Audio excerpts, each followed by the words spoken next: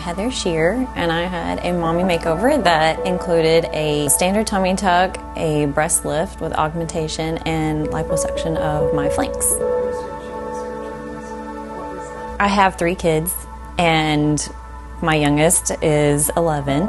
And so over the years, I've noticed more and more of my stomach just not, not being happy with it. I kept contemplating having something done and kept putting it off and putting it off. And the older I got, it seemed like it got worse and bothered me more. And so that's when I decided to just start looking into it. So I started researching. But my sisters had both had surgery done by Dr. Bogdan. And so that's what made me kind of just start you know, feeling more comfortable about looking into it. I just wasn't happy with myself. Um, every time I would go to the beach or we would go to the lake or whatever, I just wasn't comfortable, you know, in a swimsuit and things. And so that's when I decided and talked to my husband about it. And I'm just going to go for it and see, just to meet with the doctors, see what my options are, and then decide. When I first got in here and I was in the office, I was very impressed and go in and meet him. He was very professional and very knowledgeable. I, when I came into this and doing it, I actually just assumed I would have um, like a standard tummy tuck and the breast augmentation. And then realizing that I was going to need more, I realized that he knew what he was talking about. I just felt like it was just, it was perfect. I don't know. He just made me feel comfortable and knew what I needed. I had been recommended by my sisters um, because they had both had breast augmentations done, and then my sister, one of my sisters, had a mini um, tummy tuck done. And so I didn't. I did a lot of research, but I also knew off being, you know, recommended that it was a better option because somebody I knew had already gone through it with Dr. Bogdan.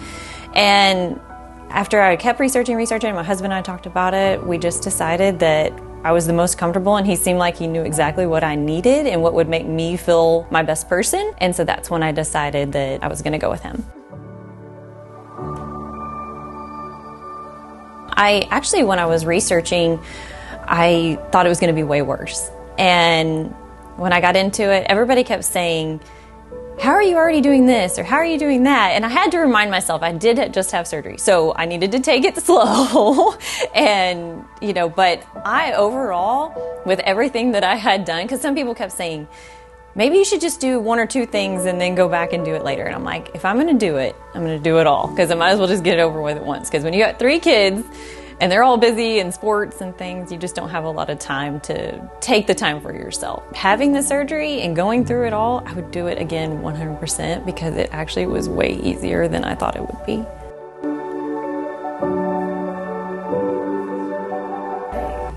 Well, so before, whenever I would work out or whatever, I just would never be happy because it didn't seem like it was really going to do anything. And after having this surgery, I actually feel sexy and I feel like, I mean, I just want to buy new clothes and uh, working out, like, I want to work out because I just want to keep what I have. I feel so much better about myself. I am in my 40s now, so I am, this just made me feel like I can be sexy if I want to. I thought, you know, people that are my age, it's a lot. So definitely research and get comfortable with it and know that, you know, it's something that you're doing for yourself. And I say, don't wait, just do it. You know, the biggest thing is as much as you wait and you think about it, and, you know, sometimes the longer you wait, you'll change your mind and won't do it. But sometimes if you're in that mode and you want to do it, if you just make that decision, you'll be so happy.